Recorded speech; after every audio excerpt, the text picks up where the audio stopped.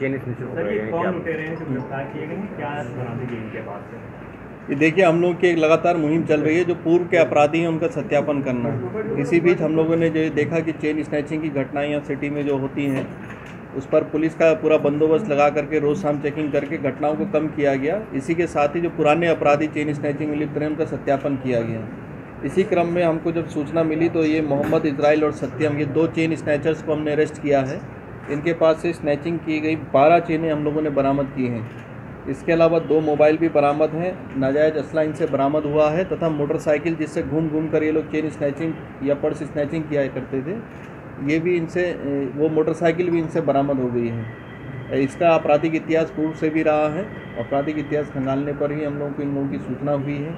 आगे भी इस तरह का अभियान जारी रहेगा जो पूर्व से अपराधी रहे हैं, जो अपराधों में संलिप्त आदतन रूप से रहते हैं। इन पर इस तरह की धरपकड़ करके गिरफ्तारियाँ होंगी और ये सुनिश्चित करेंगे कि इनके आगे गैंगस्टर अधिनियम की भी कार्रवाई की जाए।